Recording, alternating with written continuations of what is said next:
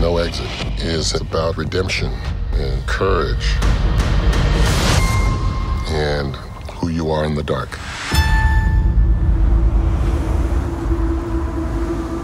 Beginning of No Exit, we meet a young woman who's a recovering addict. It's rehab or jail. And she gets a call to say that her mother's sick and may die.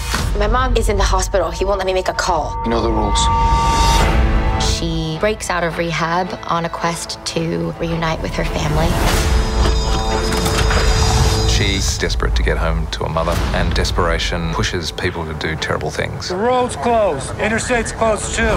So she has to shelter in a blizzard in the Sierra Nevadas with four other strangers. There's no Wi Fi. And she stumbles into a very complex situation.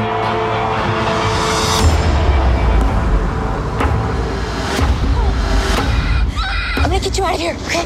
And this person who is three days sober has to figure out who did it. And so it's her against whoever it is inside. And risks her own life to save somebody else's life. And when she sees the child, she sees something bigger than herself. I'll come back. I promise I will. Life is precious, and what you do matters.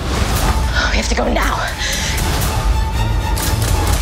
We have to follow you straight out. Ah!